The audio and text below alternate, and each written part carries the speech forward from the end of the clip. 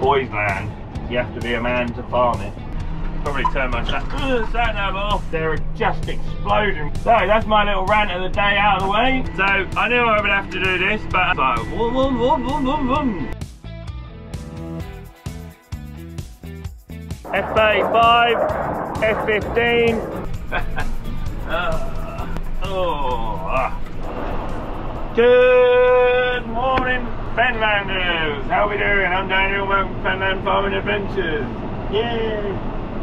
Welcome to probably about quarter past five, oh, half past five now. Half past five in the morning. Grumpy Grandad just give me a little escort over to the Hockwold. Get my black soil dressed up, ready to rock and roll. Uh, I'm not really with it yet. It was quarter past four, I think, this morning when I rolled out of bed. So I know some of you are used to that, but with my 45, 50 acres of potatoes, I don't need to worry that hard. I just we were just wanting to get this basil over Hockwold, which is about 10 or 11 miles away from the homestead. Yeah, so running a 3.8 metre basil along the road is all good. Escort, nice and early in the morning, no traffic, no one to worry about. Only met two cars, so nothing too major. They all slowed down and got out of the way, which was great. Uh, sometimes when you move a combine, we've, we've found, you know, getting up early and moving the combine at dusk or dawn is the best time of day to be moving anything. Uh, big and wide and clumsy. Oof, getting warm in here now, but they talked to two degrees overnight, so we put all the potato lorries, shall we say, undercover. Got everything tucked away in the in the shed, just in case there was a tinge of frost on the potatoes, which wouldn't have done him any good at all. So today's battle plan is to get this uh, 23 acre field all dressed up and Grumpy Grandad's going to run all my kit over now. So yeah gonna start start ferrying stuff over to me and then we'll start making an awesome video. But we're here on the basil here basically all the basil here does is just a hook tine cultivator that keeps coming around with something there. Bit of wood or badger or something yeah, I'm, I'm, currently going down the edge where the dike is, but yeah, the, the basil is just a hook tine cultivator with loads of gnarly teeth.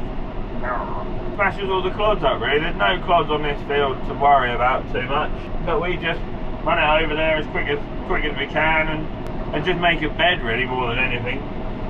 Uh, we, we did notice the difference when we didn't do it, let's put it like that. We just came over here and planted into cultivated land one, one year and you end up with a load of clods. So better do a good job of it and just run this thing over it. Uh, Power Harrow does a pretty good job on this sort of land. It doesn't make the beds. We've got the ridging bodies on the back of this bed anyway, so yeah, just race along and um, put the nemathorin on and, and make a bed really more than anything. The, the land is steaming behind me, but you're not seeing that. Lovely morning, nice crisp morning. You can see the sun now coming up over my shoulder. Life of a farmer. Get up early, crack on, get the job done. Perhaps have tomorrow spraying, so a bit of a day off. And then Friday I'm off anyway, so Friday I've got to escort two young, uh, lovely young ladies to the Newmarket races. Uh, chaperone Mr. Sizer. Yeah, my mum's friends, two 80 year old ladies want to go to the Newmarket races, so I've been drafted in as taxi driver. Yay! They're, they're good fun though. They just like to get they like to get hammered and have a good time, so it's great. I'm not putting any headlands in on this field. The end back there, I just uh, marked it out like three Baselier whips in, and I'll do the same this end. Uh, might go four on this end. So we'll just run this round. I'll probably go four ends this end because I've got to run my sprayer along here somehow. Yeah, the muck and the wheat. There's nearly there's nearly another crop of wheat on this field. It's a bit silly, really, isn't it? We planted it with wheat with some leftover seed we had.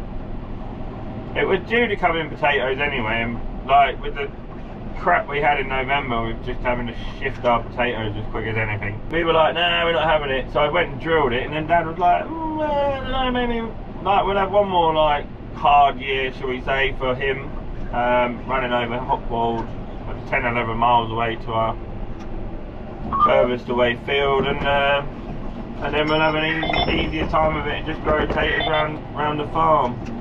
That's four beds, one, two, three, four, four beds away or eight beds away from the end. So ne nearly the spray win and anyway, this bit, this end of the river lays soaking wet. Um, if it comes wet, we're screwed. We just cannot get near it. Like I was saying about bottomless, it is boys' land. You have to be a man to farm it. Lots of people come down and try and farm this sort of land with no knowledge of what they're doing. They come from like heavy ground and sandy land and stuff, you know, where their their land is so forgiving when it comes wet, they can go on it anytime they like. Yeah, you can't on this. a few of my friends have come a bit unstuck. They're like, oh, can I go pigeon shooting? I'm like, yeah, yeah, just don't go down the bottom end of this field or that field. And uh, yeah, here they, they turn up and go straight into the wet hole, which is pretty stupid. Especially going in places where I've told them not to go. That's, that's the usual trick we get. You know, whatever you do, don't go here. Oh yeah, alright, no worries, I know what I'm doing. Ain't been stuck yet, ha ha ha. and then they do. That's cool, isn't it? Steam coming out of the land. My good friend Bert, his uh, fields and stuff are next door. Bertie boy. Yeah, today's going to be a good day for sunglasses, I think. I think today's the last... Let's have a look, shall we? What weather apps people use? Um, I'm struggling. I had the BBC weather app and I got on great with that, but now it wants me to sign in. I ain't doing no signing in. Uh, no, actually tomorrow's not going to be too bad now like a shining beacon of light. Look at that, look. I know my windows a bit dirty, no laugh. Perfect. Yeah, Friday, Saturday, Sunday, Monday, Tuesday, Wednesday, Thursday, Friday. All rain.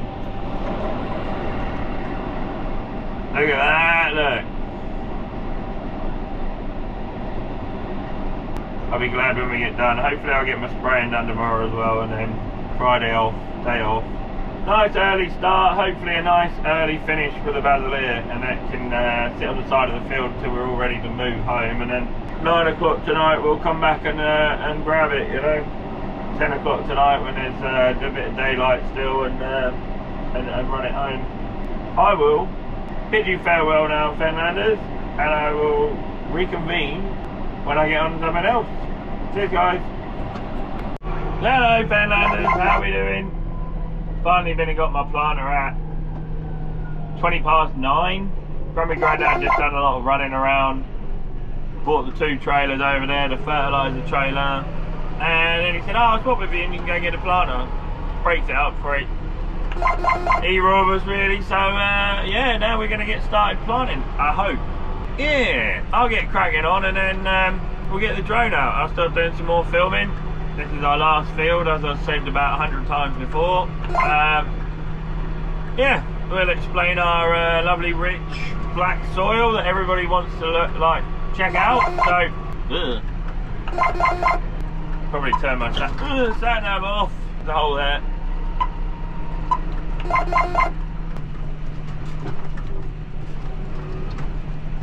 it's down a proper crappy old farm track. Sometimes it gets done up, sometimes it doesn't. So, and I got my fert tank on the front, so I'm gonna have to look look ahead and see where I'm supposed to be driving. But yeah, no, we're we're sort of on course. It won't take me long to plant 23 acres, probably only about 20 acres with all the headlands and stuff we need. I'm not gonna bother putting any headlands in, end roads, whatever you want to call them. Just gonna make life easy for ourselves, you know. So I've got a big long irrigator that'll reach right through there my biggest irrigator, 550 metres, will come over here and just stay over here. Well, we'll try it with no headlands. We'll see how we get on. Normally we like planting headlands and stuff. It makes it a lot easier for spraying, but there's not really anything either end of this field. River one end and a bank the other end. There's a couple of trees the other end, but I should be able to lift up and go over them. So, should be all good. I can't, I can't wait to get finished. I'd like to say I'm going to the Caribbean for a cocktail and a bit of beach weather, but you know what farming's like. Never ending. So I am gonna probably have a little lay-in tomorrow morning after starting at half three this morning.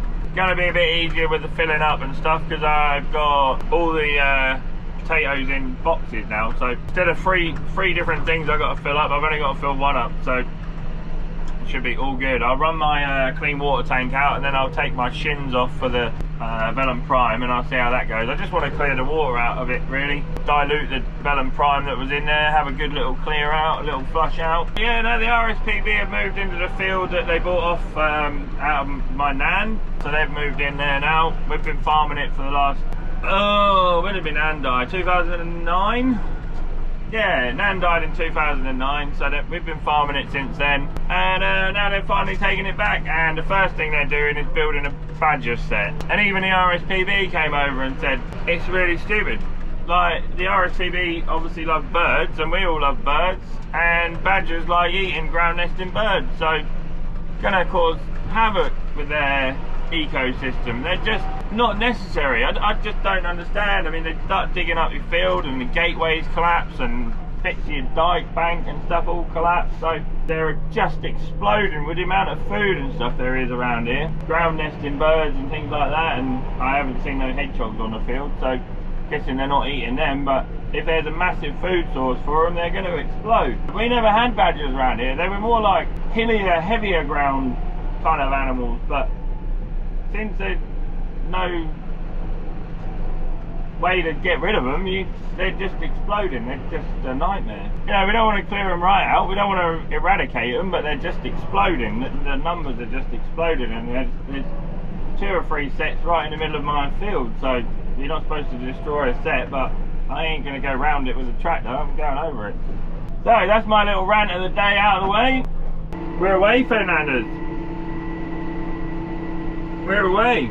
Uh, how many of you lot have all got structural planters and how many of you all got cup planters still? I got a comment last night saying, oh, after seeing that, I'm not going to buy a belt planter. My, mine's bang on 12 inches. I've set it for, only because the belt's worn out on the back there that I've set it for 9. So I have to just adjust myself. Like 9 and 10 on my computer is uh, 12 and 14. So that's the only reason I have to do that is because the belt's worn out on the on the back there. That you know, 400 pound belt, or I just keep going till it breaks, you know, I'm not going to change it for the sake of changing it. Yeah, so uh, I just, I wondered how you all got on with your, with your belt planters. I mean, everyone around me's got a belt planter. There's nobody really, Mark, Farmer Palmer, he's got a cup planter. My friend Rob Phillips has got a cup planter and Matthew and Lord Barnett have got a cup planter, but now everyone around my way has all got belt planters. Yeah, I mean, I don't know if David watching, Hello, David. I appreciate your comment. I just, um, I, I, wanted to know really. I just, mine does a mega job, and I'm sailing along here at seven and a half k. Yeah, yeah. Just, just, just wondered really. I mean, mine's doing a mega job. It's, it's almost bang on 12 inches. So I'll, uh, we'll get out and have a dig in a minute. If it's just under 12 inches, I don't mind. My cousin Ollie's planted his Babylon at just over 11 inches, so I think that's a bit too tight, but dust is starting to become a problem now. That is the trouble. Grumpy Grandad's so far in front of me now that dust is going to become an issue.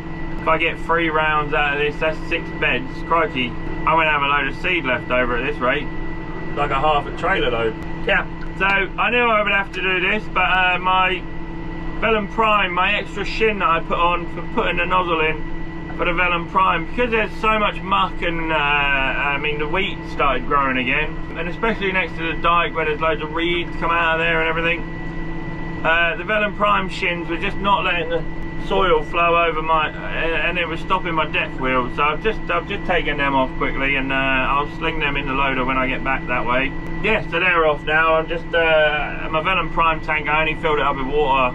It was dead empty. I filled it up with water just I'm just running that out now. I can see it, see it trickling out. As soon as it stops trickling out, I just switch everything off. Away we go. So yeah, this is my day, cruising up and down, trying to keep you lot entertained. So I'll put the drone out in a minute, and you lot can all uh, marvel in my bottomless, bottomless black soil. I mean, I came over here when we were ditching, uh, when we were ditching the dike out, and I parked right in the wettest bit of the field. And Dad was like, yeah, yeah, I'm you'll be all right, won't you? I said, yeah, yeah, because it was frozen when I got there and thawed out when I came home. So as I went to get, in my truck and drive away, it was like, boom, boom, boom, boom, boom, boom. Oh no, here we go, I'm stuck and Grumpy Grandad's gone with the 360 up the road. I'm stuck. But luckily I put it in four-wheel drive and just about managed to wriggle out. Momentum is the key with this land over here. If you start moving, don't stop. Once you get going, you're away. Don't change gear or anything. Just nail that throttle and keep going. So, this is what we're doing for the day. Planting, yay!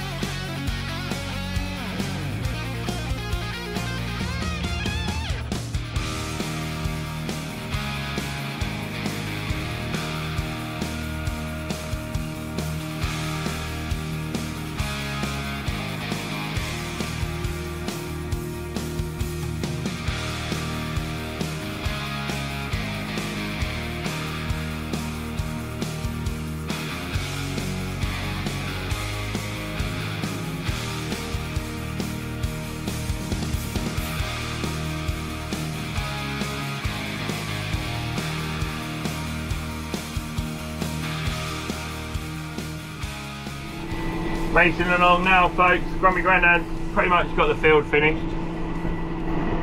He's right over by the other side there, it's just a headland to do for him. He's going to get on the loader and uh, just um, keep ferrying me boxes. Uh, I wish I had sprayed the wheat off to be honest. it's a bit coarser than I would want and uh, that wheat's going to be an issue coming through. Uh, just means I'm going to have to be hot on the uh, preem. Yeah, put the drone out for a little while, Jamie Sideland is over in his um, on Bert's field growing some grass. Um, so he was out there spraying his grass, I think. Uh, we got some lapwings fighting in front of me, fighting over a bit of territory. The crows have come and shown an interest now as well. And the RSPB have disappeared with their digger. I don't know where they've gone with that. And they're building a big old badger sett right next to my field. What a treat. Can't wait for that. So yeah, it's all going on. We're halfway across the field, I should say, something like that. There's one, two, three, four sprayer wheelings, and I'm now on the in the middle of the third one, shall we say? So yeah, we're getting there. Well worth starting at past three this morning, just to get Grumpy Grandad a good start on uh, Basileering. We're not going to take the Baselier home till dusk tonight anyway, so when there's hardly anyone around. So he can get done with that and just just keep topping me up. Um, that's all we can do. Keep rattling on. So if you like today's video, don't make sure you uh, like and subscribe. Leave us a comment. We've had loads of comments in the last few videos. It's been mega. I like chatting to different people around the world. Fella in Canada wants some clothing. Uh, that's a bit difficult. Trying to get clothes out to Canada. It's a bit, bit, bit difficult, but thanks for watching over in Canada. And I'll um, give you an update of what I'm doing in a little while. Cheers, guys. Hello Fenlanders, we're racing on now. I've only got one spray wheel left to go. That's awesome. So, you lot wanted to see my black soil, so uh, we'll get out and have a dig around. We'll have a little rattle around and see, uh, just make sure our planter's still playing ball. I just kept, I've been checking the depth all day and uh, I've lifted it out a couple now. I think it's I think they're a little bit too deep, but I don't think they'll need ridging up, so it's horses for courses, isn't it? Some people plant them a bit deeper and then don't have to mould them up. So, yeah, going fine. Grumpy Grandad now just on the last headland and last little scoots and stuff. Last few little bits of short work and he's done, but we're going to wait till later to take the Baselier home and it's quiet. Yeah, just give him a good escort home, like 7, 8 o'clock time, maybe 9 o'clock time keep everyone out of the way, you know, once people are all at home, tucked away and stuff, you don't worry about too many cars then, you can just get on the road and go, with an escort obviously. We'll get to the real black end of this field and I'll get out and show you some of my sooty black soil, black gold. Kind of looks a bit sandy up that end, but it, it, all used to be white. Dad said when he was a kid, it's all, all used to be white fence soil like we got back home. And in places, it is still, there is still bits of it. It's all blown away, I'm guessing. All blown away or all been farmed out, intensively farmed. So I'll uh, turn you back on in a minute. We're going to have a dig. F35, F15, flying over. Coming to make sure I'm planting them the right way up. Kind of cool when you get a flyby in it. We, we're kind of used to it now, but I, I guess you lot are probably not. So that's kind of funky, isn't it? So yeah, what a contrast to the stuff we got at home, hey? This is um, pure black. Let me try and find somewhere for you lot to sit. There we go. Yeah, you can see, look, all the stubble from last year all still in there. Some cattle muck in there as well. Everyone wanted to see it. You don't really often see it, but no seashells in there. It's just like peat, I'm guessing. But I thought I'd come and have a little dig and have a ruttle around. Loads of moisture in there, obviously. See, I was I was down another inch. I've lifted them out an inch, but I don't know if you lot can see that.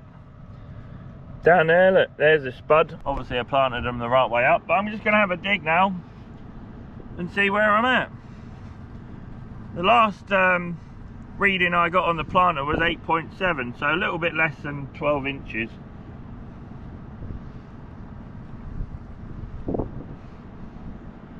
Let's measure one and see what we got. Probably closer to 14 inches there, so don't matter. They're quite big, small seed, if that makes sense. that's, that's closer to 16 inches, that is. Ugh.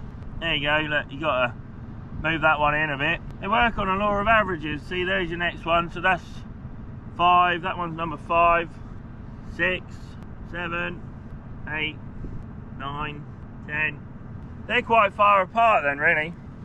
But it doesn't matter.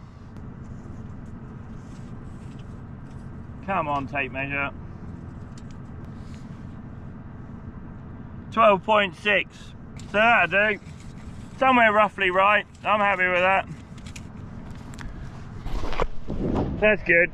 That's good. I'm happy with that. 12.6 that worked out at. So somewhere around 12 is fine with me. It's what I planted them at last year and they turned out mega so I'm about where I want to be. So let's just explain what happens on this uh, planter the potatoes go in the hopper this big hopper and then all funnel down onto the belts here and then off this top belt. This is a sensor I was talking about the other day. As you can see look every time I touch it the light goes off so once it's got enough potatoes in there it fires them straight down the middle towards that sponge. Towards that sponge there below the one then they drop in. So it's pretty simple to set up. The only other setup I've got is I can adjust these flaps up and down.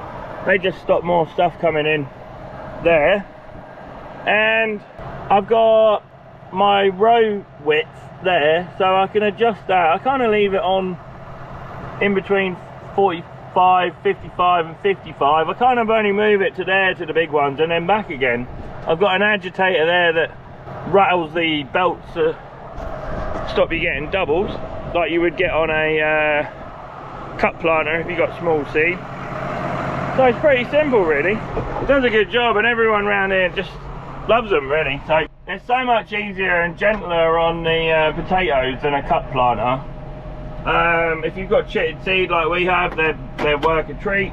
If you um, got odd shaped seed like agria can be sometimes, then they're even better, you know, they just, they, they don't care what the seed is, they just, as long as you set up your, your lane width for bigger and smaller seed, and uh, get your agitator right so it just bumbles them around so there's only one being fired out there at the right time. Then you can go like mad. I mean 20 23 acres in here and I didn't get started till just after 10 o'clock so and it's only now not even 3 o'clock I shouldn't think quarter 3 so yeah we'll, we'll, be done here at 4 o'clock so uh, if I had somebody ferrying the boxes to me then 35 40 acres is possible in a day I love it uh, yeah, like I said to uh, David, you know, I, I don't know why you would want anything else, but if you want to be like he was planting, I think he was planting salads and stuff, well, you want a quad planter for salads, I'd have said. Because salads don't need to get very big, do they? That's the whole idea. They don't need to get a, a great size. They just need to um, put on a crop of tubers, all like that size, and, and you can get hundreds of them in a bed that width and uh, get them lifted early. So yeah, it's horses for courses. Um, I think David, honestly, you you would want a quad planter. Like I nearly, I very nearly bought a quad cup planter before I bought this, before this came up, but it just wasn't right for us. There's no reason for us to have four lines of potatoes in a two row bed. Three I can understand, but then that's a whole another issue. But I'm not lifting mine early. See, salads and stuff, you can lift them in June and July get them ready for everyone that wants a barbecue and stuff over the summer. Yeah, no, I, I, would highly recommend if you're growing main crop potatoes, is go and get yourself a uh, belt planter. Just watching the belt most of the day. Oh, I don't know if you can see that because my camera's fairly dirty. I just sit there watching the potatoes going up and down all day.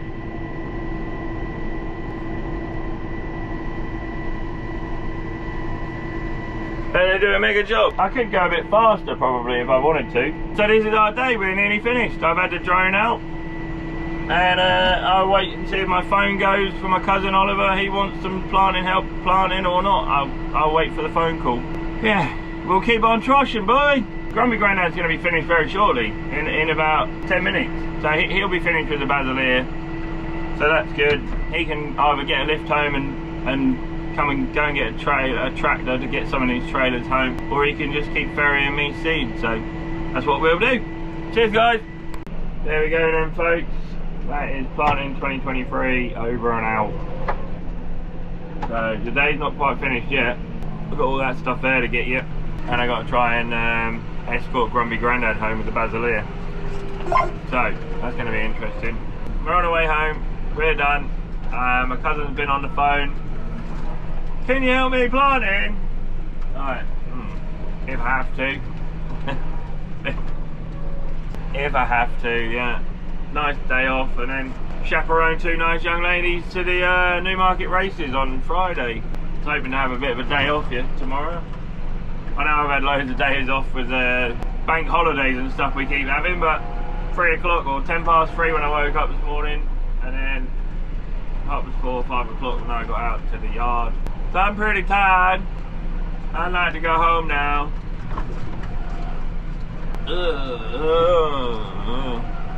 I have been sat in this, either this tractor or the other tractor since 5 o'clock this morning and I am hurting. I'm a little bit achy.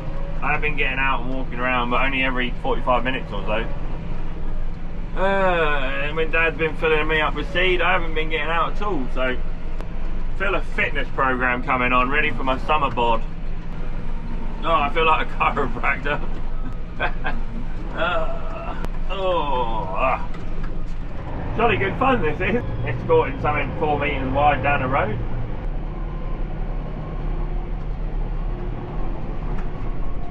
Cousin Michael. Uh, another car. Didn't see that one. you get a proper bounce on with these skinny tyres and it moves you across the road. So yeah, he found it down, loaded up in trucking.